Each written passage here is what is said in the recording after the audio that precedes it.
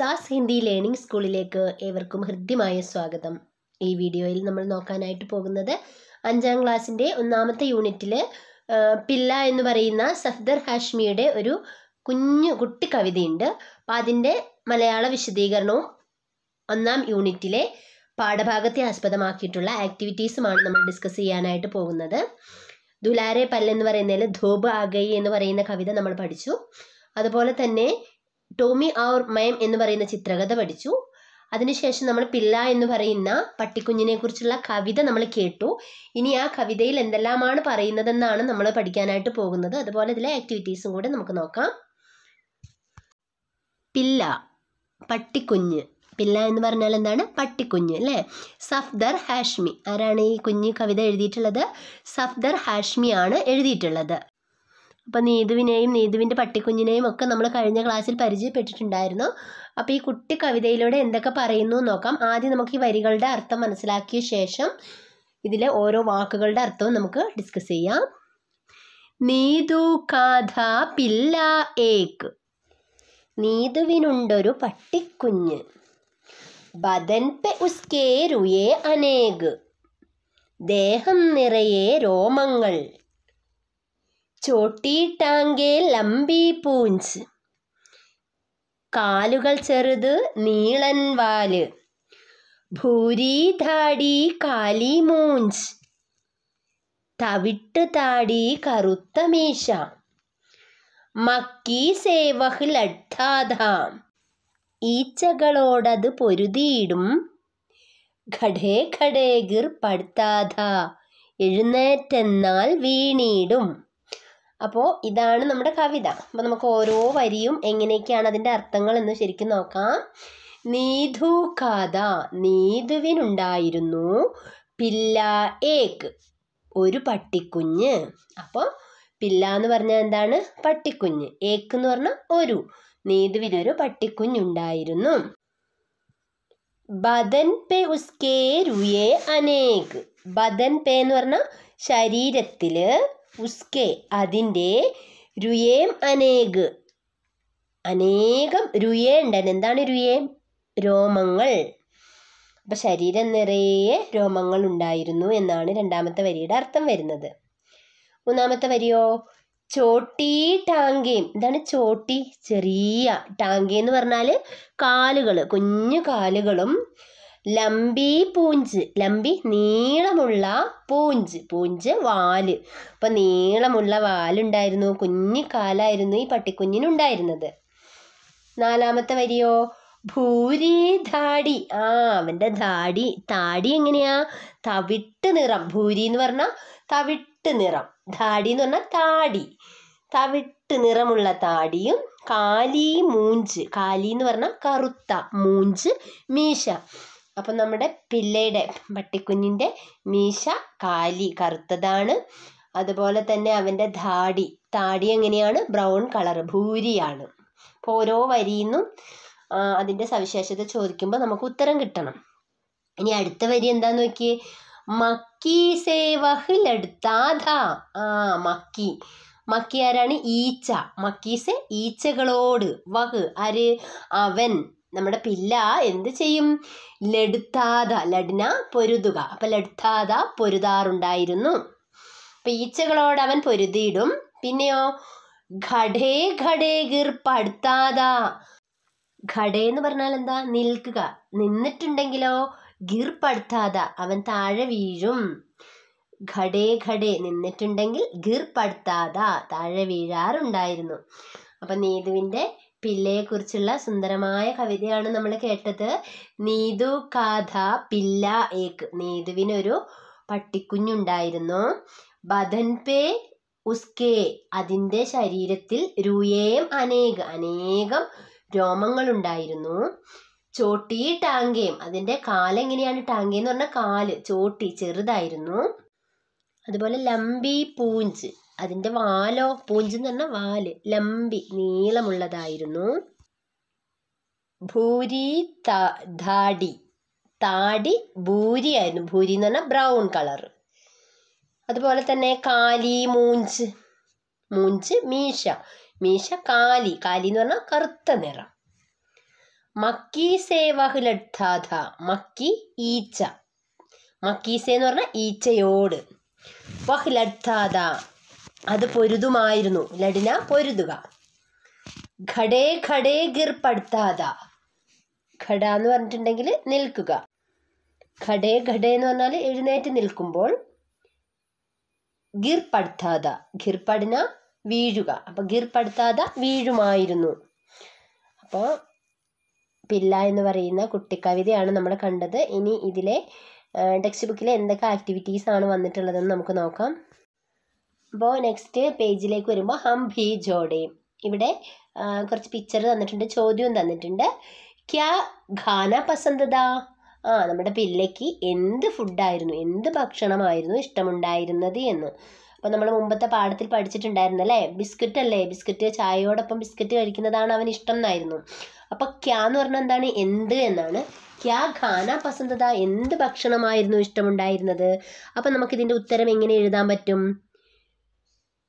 Biscuit ഖാന പസന്തത എന്ത്? ചായക്കെ സാത്ത് biscuit ഖാന പസന്തത നമുക്ക് എഴുതാനായിട്ട് പറ്റും.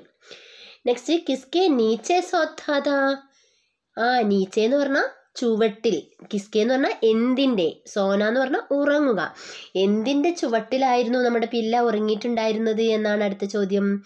നമുക്കറിയാം അല്ലേ? പങ്ക അല്ലേ? ഫാനിന്റെ ചുവട്ടിലാണ്. അപ്പം അതെങ്ങനെ പറയും? നമ്മൾ കഴിഞ്ഞ ക്ലാസ്സിൽ പഠിച്ചതാണ്. കിസ്കെ നീച്ചെ സോത്താത? ഉത്തരം എന്താ വരിക? പങ്കേക്കെ നീച്ചെ സോത്താത. ഫാനിന്റെ ചുവട്ടിലായിരുന്നു ഉറങ്ങാറുണ്ടായിരുന്നത്. അടുത്തത് എന്താണ് കിസ്കെ സാത്ത് കേൾത്താത സാത്ത് എന്ന് പറഞ്ഞാൽ കൂടെ. ആരുടെ കൂടെ കളിക്കാറുണ്ടായിരുന്നു? നമുക്കറിയാം അല്ലേ? നീതുക്കെ സാത്ത് കേൾത്താത നീതുവിന്റെ കൂടെയായിരുന്നു നമ്മുടെ പില്ല കളിച്ചിട്ടുണ്ടായിരുന്നത്. അപ്പോൾ ഫസ്റ്റ് ക്വസ്റ്റ്യൻ എന്തായിരുന്നു? ക്യാ ഖാന പസന്തത? ബിസ്കുറ്റ് ഖാന പസന്തത. ഉത്തരം കൊടുക്കാൻ പറ്റും. കിസ്കെ നീച്ചെ സോത്താത പങ്കേക്കെ നീച്ചെ സോത്താത എന്ന ആൻസർ കൊടുക്കാൻ പറ്റും. കിസ്കെ സാത്ത് കേൾത്താത കെ സാത്ത് കേൾത്താത എന്ന് നമുക്ക് കൊടുക്കാൻ പറ്റും.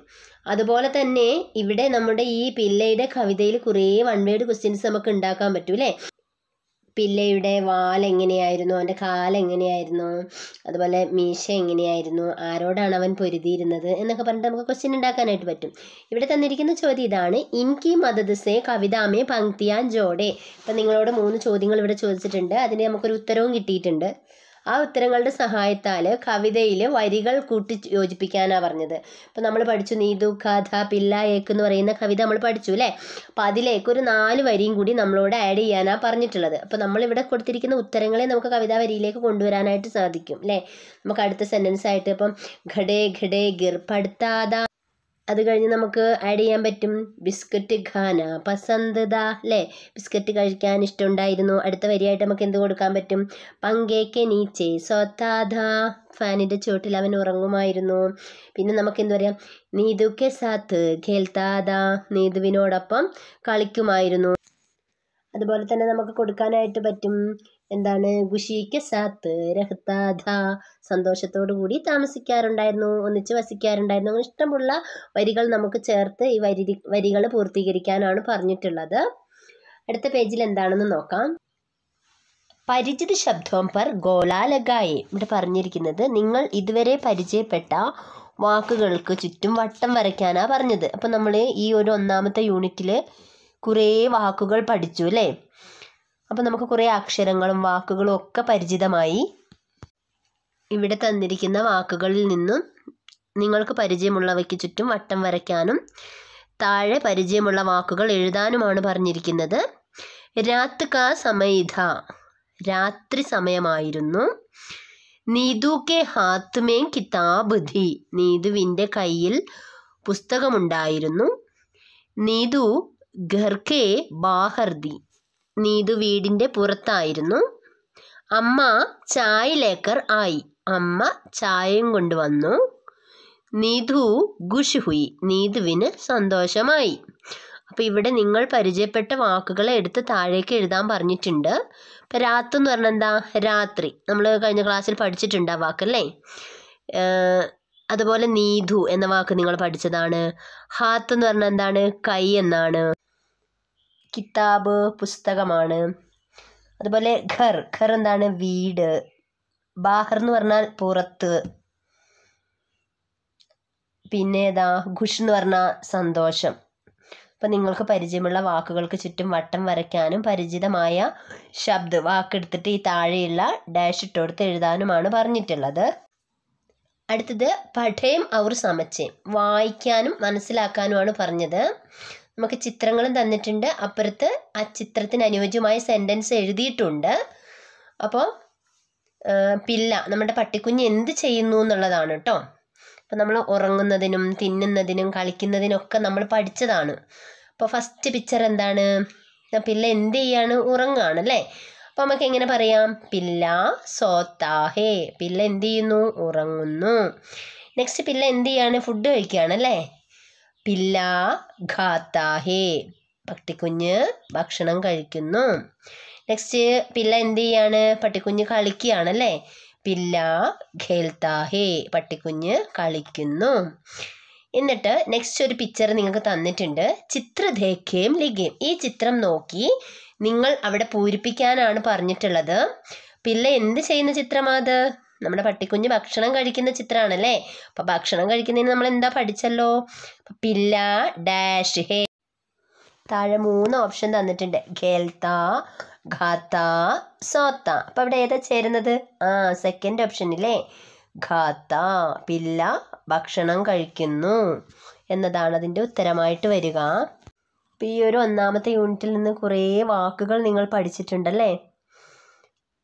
പട്ടിക്കുഞ്ഞിന് എന്താ പറയുക പില്ല അതുപോലെ തന്നെ വാലിന് കാലിന് ഈച്ചയ്ക്കൊക്കെ എന്താ പറയുക നമ്മൾ പഠിച്ചു. ഭക്ഷണം കഴിക്കുന്നതിനും ഉറങ്ങുന്നതിനും കളിക്കുന്നതിനും ഒക്കെയുള്ള വാക്കുകൾ നമ്മൾ പരിചയപ്പെട്ടു. അതിലൂടെ നിങ്ങൾ അക്ഷരങ്ങളും പഠിച്ചിട്ടുണ്ടാകും ഈ ഒന്നാം യൂണിറ്റിനെ ആസ്പദമാക്കിയിട്ടുള്ള വേറെ ഒരു വർക്ക്ഷീറ്റ് നമുക്ക് നോക്കാം. ഇവിടെ കുറച്ച് വാക്കുകൾ കൊടുത്തിട്ടുണ്ട്. എന്തൊക്കെയാണ്? ചിടിയ കലിയ ധൂപ് സൂരജ് ഹവ എന്നൊക്കെ പറഞ്ഞ് വാക്ക് കൊടുത്തിട്ടുണ്ട്. ഇവയൊക്കെ നമ്മൾ പരിചയപ്പെട്ടതാണ്. ധൂപ് ഹാഗയി എന്ന് പറയുന്ന പാഠഭാഗത്തിലൂടെ. ഈ ചിത്രങ്ങൾക്ക് അനുയോജ്യമായ വാക്ക് ഇവിടെ നിന്ന് എടുത്തെഴുതുക എന്നുള്ളതാണ് ആദ്യത്തെ ചിത്രത്തിൽ നമുക്ക് കാണാൻ കഴിയുന്നതാണ് വെയിലിന്റെ ഒരു ചിത്രമാണല്ലേ? അപ്പം വെയിലിന് നമ്മൾ പഠിച്ചിട്ടുണ്ട് എന്താണ്? ധൂപ്. ഏതാണ്? ധൂപ്. ആ രണ്ടാമത്തെ ചിത്രമായിട്ട് നമുക്ക് കാണാൻ കഴിയുന്നത് ഏതാണ്? സൂര്യനാണല്ലേ? സൂര്യന്റെ പേരെന്തായിരുന്നു? സൂരജ്. ഏതാണ്? സൂരജ്. നെക്സ്റ്റ് താഴേക്ക് വരുമ്പോൾ പൂമൊട്ടുകളെ നമുക്ക് കാണാം. പൂമൊട്ടുകൾക്ക് നമ്മൾ എന്താണ് പഠിച്ചിട്ടുള്ളത്? കലിയാം. ഏതാണ്? കലിയാം. നെക്സ്റ്റ് പക്ഷികളെ കാണാം അല്ലേ? പക്ഷികൾക്ക് നമ്മൾ എന്താ പഠിച്ചത്? ചിടിയാം. പിന്നെ കാറ്റാണ് നമ്മൾ കാണുന്ന ചിത്രത്തിൽ. ഹവ. ഇനി എന്താണെന്ന് നോക്കാം. ചിത്രങ്ങളും സെന്റൻസുകളും തന്നിട്ടുണ്ട് അല്ലേ? അവയെ മാച്ച് ദി ഫോളോയിങ് ജോഡ ജോഡേ. യോജിച്ചവ ചേർക്കുക. അപ്പോൾ ആദ്യത്തെ പിള്ളയുടെ ചിത്രം തന്നിട്ടുണ്ട്. അപ്പോൾ അതെങ്ങനെയാണ് നമ്മളൊക്കെ പറയുക അതിന് ചേരുന്നത് മൂന്നാമത്തെ സെന്റൻസ് ആണ്. വഹ് ടോമി ഹേ അത് ടോമി ആണ്. അല്ലെങ്കിൽ അത് ടോമി ആകുന്നു. നെക്സ്റ്റ് മേ നീതുഹും ഞാൻ നീതു ആകുന്നു. അടുത്ത ചിത്രം എന്താണ്? കിതാബാണല്ലേ? യഹ് കിതാബ് ഹേ ഇത് പുസ്തകമാകുന്നു. അപ്പം ഇതുപോലെ കുഞ്ഞു കുഞ്ഞു വാക്കുകൾ നിങ്ങൾ ഈ ഒരു യൂണിറ്റിനെ ആസ്പദമാക്കി പഠിച്ചിട്ടുണ്ട്. അപ്പോൾ നന്നായിട്ട് അക്ഷരങ്ങളൊക്കെ പഠിച്ചു തീർക്കുക വാക്കുകളൊക്കെ വായിക്കാൻ പഠിക്കുക പാഠപുസ്തകത്തിലെ കവിതകളൊക്കെ കേട്ട് പഠിക്കുക. ഇതുപോലെ ഉപകാരപ്രദമായ വീഡിയോയുമായി നമുക്ക് അടുത്ത ക്ലാസ്സിൽ വീണ്ടും കാണാം.